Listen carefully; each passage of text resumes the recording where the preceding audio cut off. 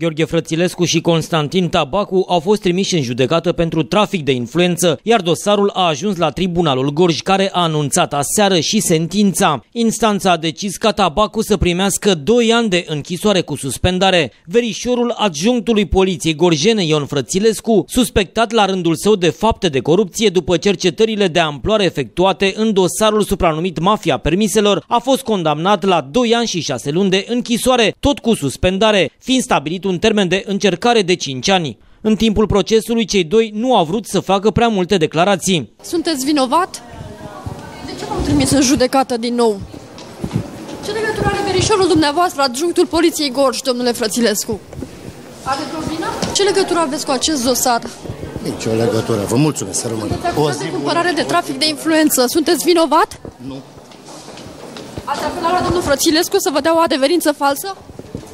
Nu e falsă. Suspiciunea este că Tabacu ar fi apelat la Gheorghe Frățilescu pentru a-i da o adeverință din care să rezulte că a urmat o școală de șoferi, după ce i s-a întomit dosar penal pentru conducerea unui autoturism fără permis. Anchetatorii au descoperit că bărbatul acuzat de cumpărare de trafic de influență nu a efectuat nicio oră de pregătire teoretică, dar nici practică.